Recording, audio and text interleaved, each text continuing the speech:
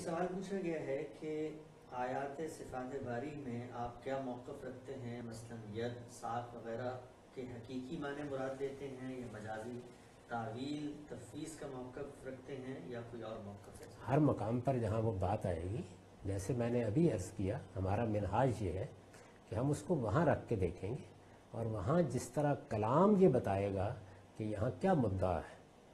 اسی کو لیں گے۔ چنانچہ آپ، مولانا امین حسن اصلاحی کی تدبر و قرآن میں دیکھ لیجیے، میری تفسیر البیان میں دیکھ لیجیے۔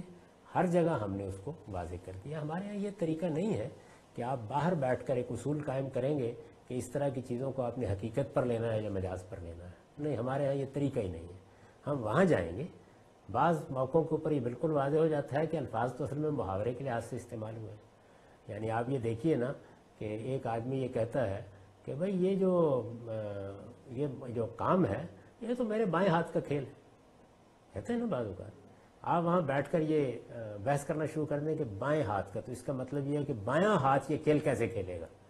تو میں اس کو بے ذوقی کہتا ہوں۔ وہاں جائیں گے، وہاں دیکھیں گے، ہو سکتا ہے کہ وہ لفظ جس کو آپ نے بیان کیا، ید ہے یا کوئی اور ہے، محاورے میں استعمال ہوا اس کا بابا آدم ہی نرالا ہے اب یہاں آپ سیدنا آدم تلاش کرنا شروع کریں گے تو یہ غلطی ہوگی۔ محاورے کو محاورے کے طور پر دیکھا جائے گا، روزمرہ کو روزمرہ کے طور پر دیکھا جائے گا۔ مجاز کا کوئی اسلوب ہے تو وہ موقع بتائے گا کہ یہ مجاز کا اسلوب ہے۔ کوئی حقیقی بات بیان کرنا پیش نظر ہے تو وہ دیکھی جائے گی۔ تو یہ موقع کے لحاظ سے ہوگا۔ ہمارے ہاں اس میں باہر سے کوئی چیز طے کر کے نہیں جاتے